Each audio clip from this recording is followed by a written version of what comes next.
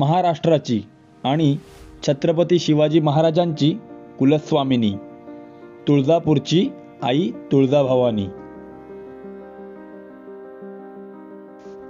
नमस्कार मी प्रीतम म्हात्रे तुमचं स्वागत करतो आजच्या नवीन व्हिडिओमध्ये आणि आपलं यूट्यूब चॅनल प्रीतम म्हात्रे विलॉगमध्ये मित्रांनो आजचा प्रवास असणार आहे तो म्हणजे महाराष्ट्रातील साडेतीन शक्तिपीठांपैकी श्री तुळजाभवानी देवीचे तुळजापूर क्षेत्र हे क्षेत्र एक पूर्ण शक्तिपीठ आहे. तुळजाभवानी मंदिर हे सोलापूर ते संभाजीनगर रस्त्यावर असून सोलापूरहून बेचाळीस किलोमीटर तर धाराशिवधहून बावीस किलोमीटर अंतरावर आहे. ह्या प्रवासात खूप सारी धमाल मस्ती केली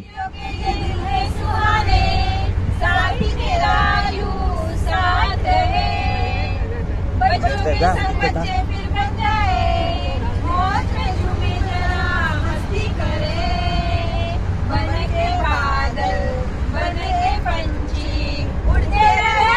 U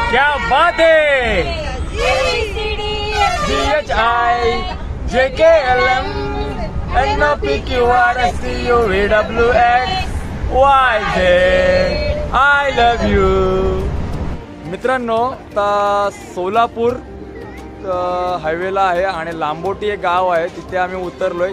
चहा घ्यायला फ्रेश व्हायला. इथे एक वैशिष्ट्य आहे की चहाची कप बशी असते ना त्या आकाराचं इथे टाकी बांधलेली आहे. मी ए बी पी माझामध्ये पाहिलं. तो आम्ही इथे आलोय चहा घ्यायला. बघूया टेस्ट कशी आहे.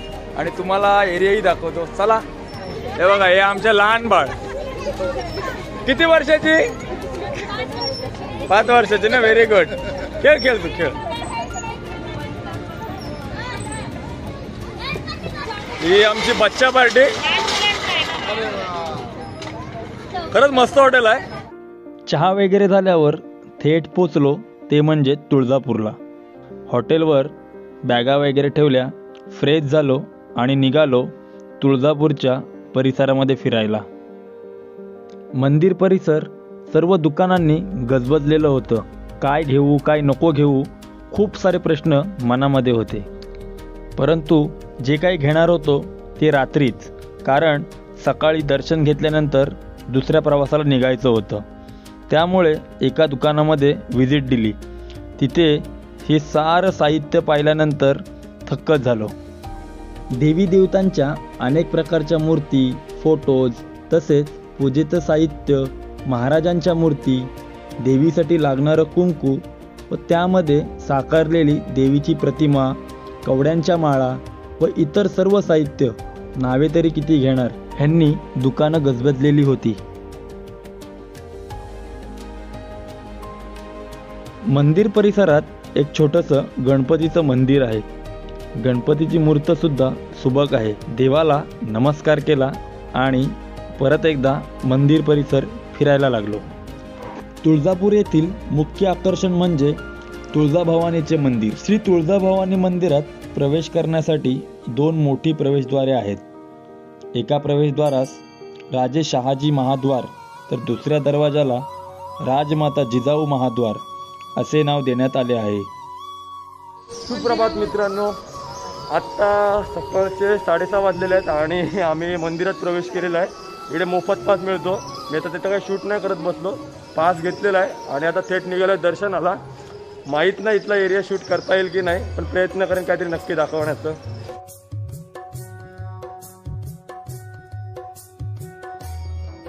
देवीच्या मंदिरात जाण्यासाठी दगडी पायऱ्या आहेत.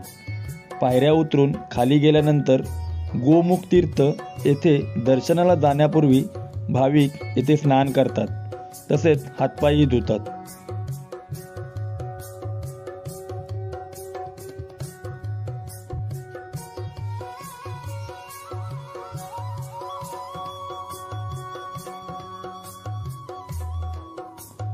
मंदिराच्या मुख्य द्वारापाशी उजव्या सोंडेचा सिद्धिविनायकाचे मंदिर आहे.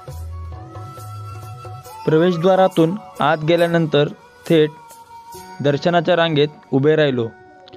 रांग खूप मोठी होती त्यामुळे आम्हाला दर्शन घेण्यास खूप विलंब झाला. दर्शनाच्या रांगेत उभे असताना भिंतीवर काही शिल्प पाहायला मिळतात. हे मंदिर बालाघाट डोंगर रांगेतील यमुनाचल नावाच्या डोंगरावर बांधले आहे.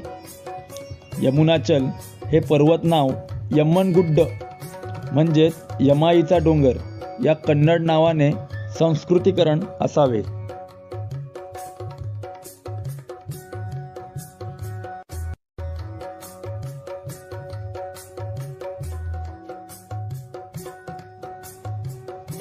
मंदिरात श्री तुळजाभवानीची प्रसन्न आणि तेजस्वी कालापाषाणाची मूर्त दिसून येते. तीन फूट उंचीची ही मूर्त स्वयंभू आहे. श्री तुळजाभवानी देवीची मूर्त चल मूर्त आहे.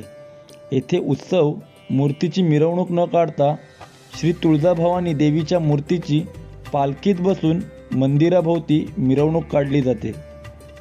वर्षातून एकूण तीन वेळा मूर्ती सिंहासनावरून हलवून गाभाऱ्याबाहेर असलेल्या पलंगावर ठेवली जाते. नंतर विजयादशमीच्या दिवशी सीमोल्लंघनाच्या वेळी आईची पालखीतून मिरवणूक काढली जाते. देवीच्या पालखीसोबत श्रीयंत्र खंडोबा आणि महादेवाची सुद्धा मिरवणूक काढली जाते.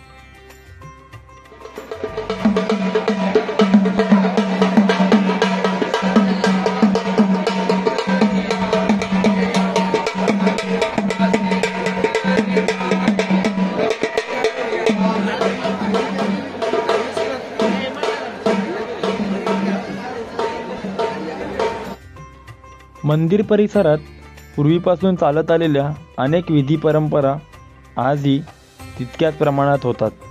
भाविक आनंदाने त्या परंपरा पार पाडतात.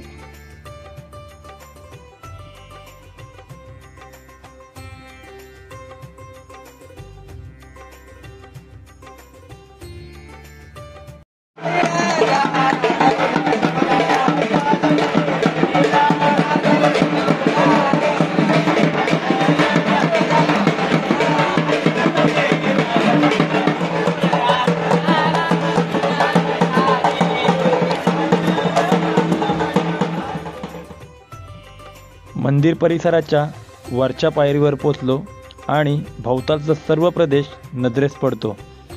खूप वर्षानंतर हे दृश्य पाहायला मिळालं. देवीचं दर्शन घेतल्यानंतर मन प्रसन्न झालं. पुन्हा एकदा देवीचं दर्शन घ्यायला नक्की येणार. त्यानंतर मंदिर परिसरात असणाऱ्याच आदिशक्ती आदिमाया व अन्नपूर्णा देवीचे मंदिरही लक्ष वेधून घेतात. देवीचं दर्शन घेतलं आणि निघालो पुढच्या प्रवासाला. सामानाची आवराआवर करून निघालो अक्कलकोटला स्वामींचं दर्शन घ्यायला. आत्ता आलेलो आहे मी अक्कलकोट. या ठिकाणी स्वामींचं दर्शन घेऊया. दत्त दिगंबरांचं. बघूया परिसर कसा आहे तो. खूप धावपळ चालू आहे कारण खूप गर्दी आहे आणि टाइम पण भरपूर झालेला आहे. अक्कलकोट हे श्री स्वामी समर्थ महाराजांचे स्थान म्हणून प्रसिद्ध आहे. अक्कलकोट हे सोलापूरपासून स अडतीस किलोमीटर अंतरावर वसलेले आहे. श्री स्वामी समर्थ महाराज हे सके सतराशे एकोणऐंशीच्या सुरुवातीला अक्कलकोट येथे आले. श्री दत्तात्रयाचे चौथे अवतार मानले गेलेल्या श्री स्वामी समर्थांचा एकूण कार्यकाळ चाळीस वर्षाचा आहे. त्यांपैकी एकवीस वर्ष त्यांचे वास्तव्य अक्कलकोट येथेच होते. मंदिरामध्ये प्रवेश करताच दिसून येते की मंदिराचं सुशोभीकरण करत आहेत. तसेच नवीन बांधणीसुद्धा सध्याचे स्वामी समर्थ मंदिर हे एका वडाच्या झाडाच्या भोवती बांधले आहे. ह्याच वडाच्या झाडाखाली बसून श्री स्वामी समर्थ ध्यानधारणा करीत व भक्तांना उपदेश देत असत. श्री स्वामी समर्थांची समाधी भक्तांकडून पूजली जाते. भक्तांना संकट प्रसंगी धीर व मानसिक बळ देणारे भिवू नकोस मी तुझ्या पाठीशी आहे. हे घोषवाक्य श्री स्वामी समर्थांचेच आहे. स्वामींचं दर्शन घेऊन निघालो पुढील प्रवासाला.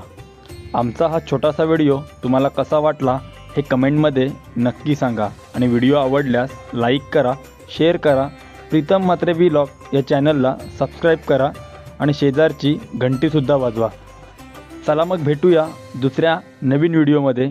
तोपर्यंत जय शिवराय.